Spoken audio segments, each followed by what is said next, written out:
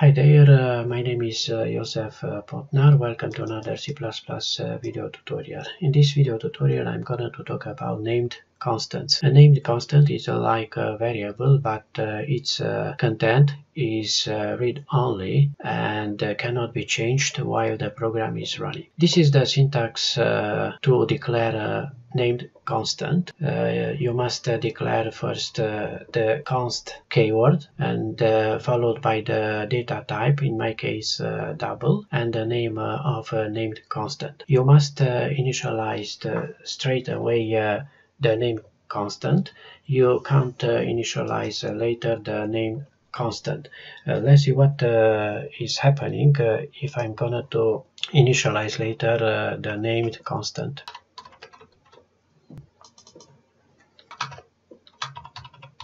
As you can uh, see already I received uh, errors but uh, let's uh, compile this application and uh, as you can see in error list uh, we received a few errors. So keep in your mind you can't initialize the named constant later you must initialize it straight away.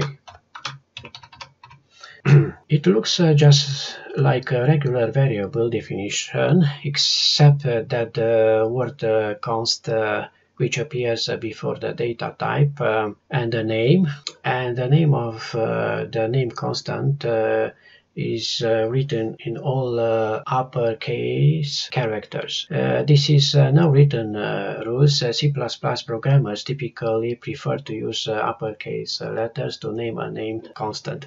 let's see what is happening if I'm gonna write this interest rate with lowercase characters. And let's remove those for a while okay and let's uh, compile again this application. Let's see what is going on here. Yeah here uh, remained uh, a uh, variable. Let's uh, compile again. As you can see the application was uh, successful compiled. So you can write the name constant with lowercase character but uh, as I told you, the C++ programmer typically prefer to use uppercase later to name a named constant. So uh, let's change uh, uh this with uh, uppercase characters. Okay, let's paste again these lines of code. Good. This uh, keyword uh, const is a qualifier that tells the compiler to make the name constant read only. Its uh, value will uh, remain uh, constant throughout the program's uh, execution. let's see what is happening if I'm, I'm trying to change its value.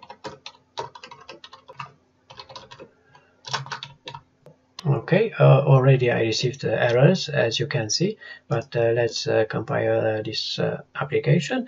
And here in error list, I received this error. You cannot assign to a variable that is const. So uh, it's clear uh, you can change uh, the name constant uh, value uh, throughout the program code. Uh, this is a big advantage. Otherwise, using name constant presents a few advantages. One advantage is programmer can read a statement better and know what is happening. here I have uh, two expression. Uh, if you have a look uh, over here, I use this value uh, uh, 0.05 uh, uh, that uh, you can't understand uh, what this number represents. But if you have a, a look over here um, where I used this name constant you can figure out very easily what this named constant represents. So this is represents an interest Uh, rate uh, so uh, this is an advantage uh, of uh, using uh, name constant. A programmer can read a statement better and know what is happening. Another advantage of using name constant is the fact that name constant store fixed data. So as you've seen, we can't change its value throughout the code. So we can use its value in many places of uh, our uh, program code. And uh, if uh, we want to change uh, its value, we don't need to change uh, the value in uh, every places uh, wherever uh, we use the name constant. We need to change the value just where we declared and uh, initialized the name constant. In my case uh, on the top uh, of program. And if I want to change its value just I remove the old value and I'm gonna to write a new value and uh, if I am gonna to compile uh, this uh, application you can see uh, was compiled uh, with uh, success.